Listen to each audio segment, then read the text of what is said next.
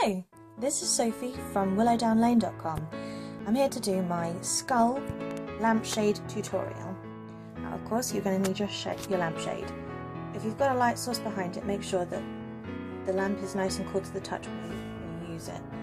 This has been on for several hours and there's absolutely no temperature from the light bulb coming through. So make sure that any lamp that you do use isn't going to burn your house down.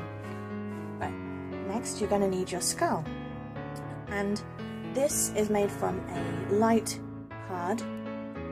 Um, other mediums that you could use are, are fabrics, leather and felt. But vinyl would also work very well as it's got an adhesive but it would also be very flimsy. For the purposes of an easy application I've used a light card. I, I wanted it as temporary so I've used a nice temporary adhesive with, which is repositionable so that I can stick it on my lampshade and if I don't like it anymore I can take it down.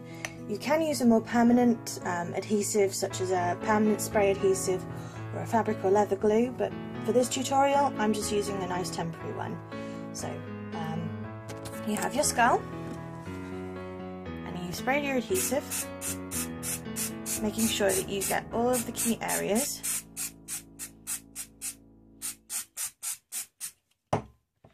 lift and separate. Oh, it's left a cool effect on the, the mat. Position and apply.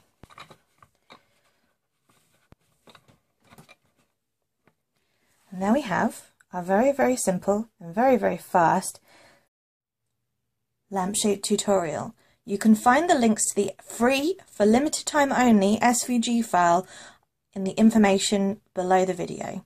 Thank you for watching my very first YouTube video. Bye!